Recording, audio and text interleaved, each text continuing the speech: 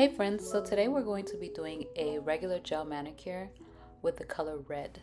My favorite color to do gel manicures of all time. It's red or nude. Red is just so ladylike. If you're new here, don't forget to hit the subscribe button. If you're returning, thank you so much for coming back, friend.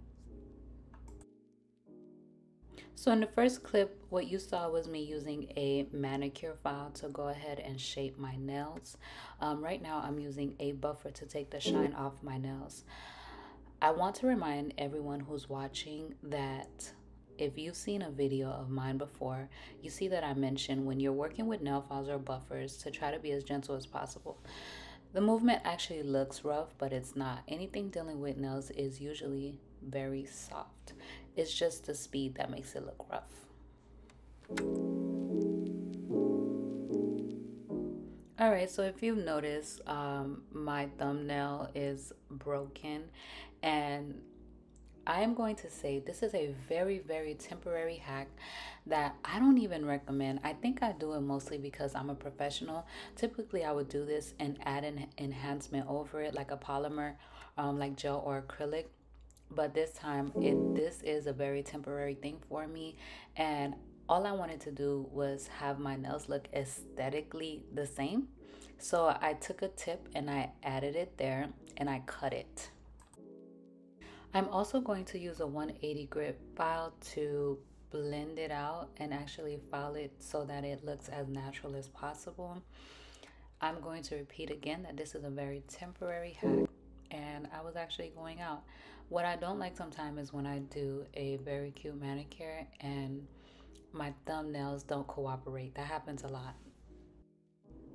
Alright, so the holy grail that is slept on, go ahead and spray your nails with 99% alcohol and then it's time to apply your base coat. For me, I like to apply two layers of base coat. First layer, I cure for 30 seconds in an LED lamp and then I go ahead and apply my second layer of base coat.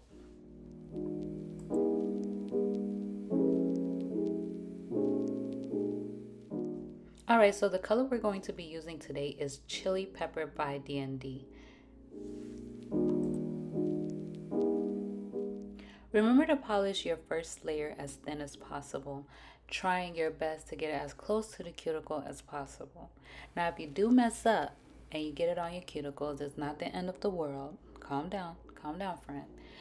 All you need is a little bit of alcohol or acetone. You want to make sure that your brush is more dry than wet and you clean that area off. You can also use Q-tips. I'm not a Q-tip fan when it comes down to polish only because I don't like the little hairs getting stuck. That would frustrate me. I, I wouldn't be able to calm down from that.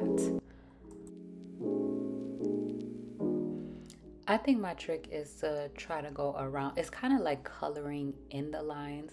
So as you can see, like the motion of my brush when I was trying to get the side of the nail, just pay attention to which way you see me stroking the brush. And look at my nail hack. If you try this, let me know how it works. Remember, it is temporary. And you're probably wondering why I keep repeating that it is temporary. It's because I'm not a doctor, and if it's not done properly, water can get under your nails and you can get a fungus. So be very careful. Alright, so this is to go a little faster because I am applying the second layer of polish. If you do what I said the first time with the first layer of polish and you get as close to the cuticle as possible, with the second layer, you don't have to work so hard.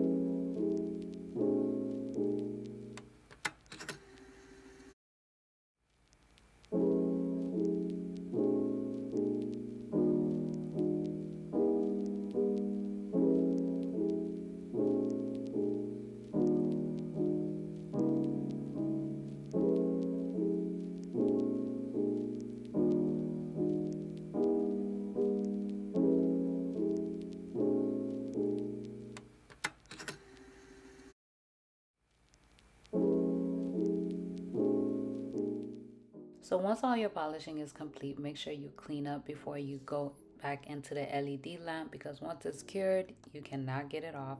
And also, if it's not as clean and you have gel coming off the sides, most likely your polish is going to lift.